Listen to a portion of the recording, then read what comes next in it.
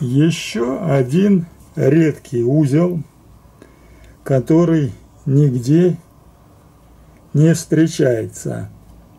Это узел Десмонда Мандевиля из его алфавита.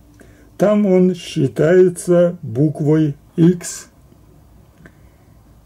Я зову его диагональным кубом.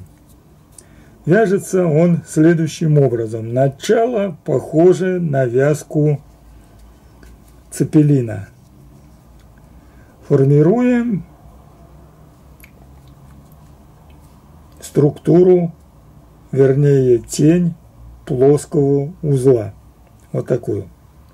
Теперь вбиваем ходовые концы вот в эти диагонально расположенные окна. Нижний ходовой конец идет вверх, а верхний вниз.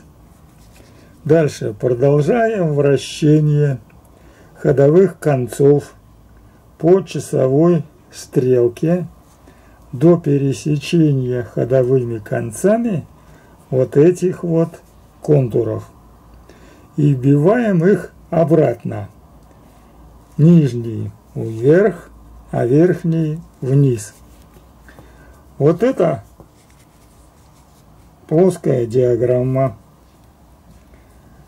из 12 пересечений при затягивании формирует вот такой вот куб. Ходовые концы выходят по диагонали куба.